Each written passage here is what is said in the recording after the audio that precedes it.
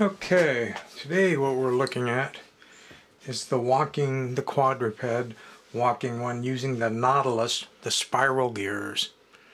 You've already seen, I'll put a link to this in case you didn't, the two-speed gears. I don't know what the real name for that is. If any of you know what the real name for a gear that has two different gear ratios on one gear, let me know down below. I'm sure it has a name.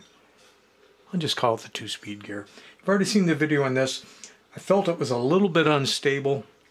I think it has to do with not the fact that it's so quick to lift the foot and move forward, but it's so quick to stop once it's moved forward. I think that jerkiness tends to make that version a little less stable.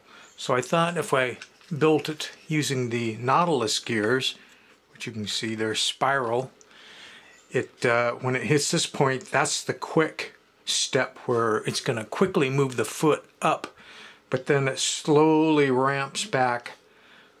Well it actually goes the other way. Slowly ramps around to a slower speed. So it's the quick step and then power walk and quick step and power walk. Uh, try not I really got any place left where I can hold this thing when I turn it on because of the light because I glued a uh, because of the Nautilus name I thought well let's be funny let's put a seahorse head on there so I put a seahorse head and tail, and by the time I got those two things on there, that didn't really leave me any place to, to hold this thing. Maybe if I hold it by the head and the tail. Nope, even that, my hands hit everything then. There you can see, it comes around. Now there's one thing I didn't mention, because some of you were wondering about the timing, and I didn't mention it on this one, but it's true on this one, and it's true on this one you can see the motor drives this gear. It's set up and you actually have this um, quarter section. In other words, they're not in a straight line. When I first did a test on the Nautilus gears, I had everything lined up in a straight line and I quickly realized that isn't going to work for a walking thing.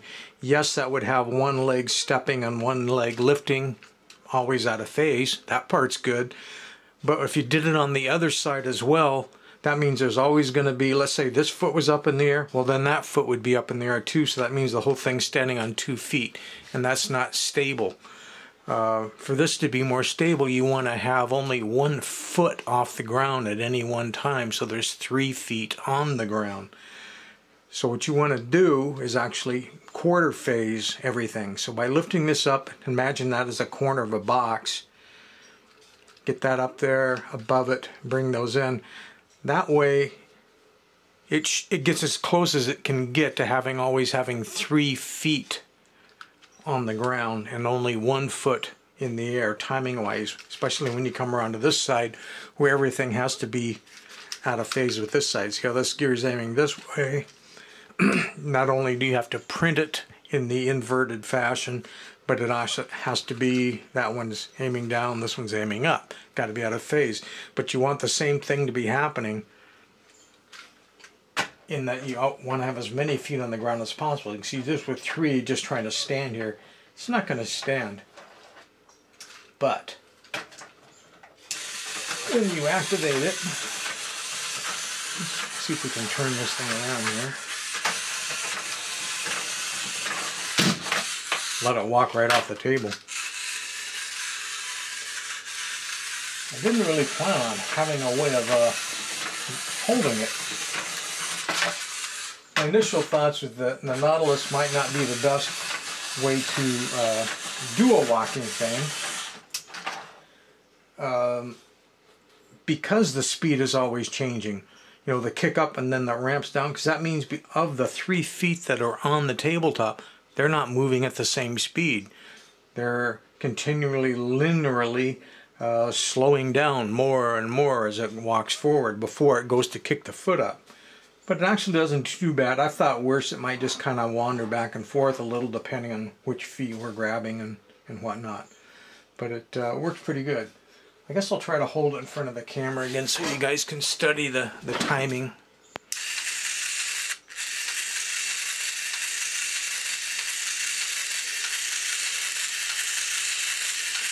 So now you can see both sides how you want to alternate your stepping to try to always keep something on the ground.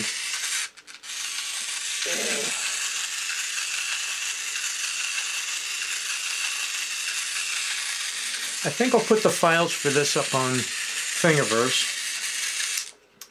Um, maybe I'll do a build video on it. I'm not sure. It depends how much time I have.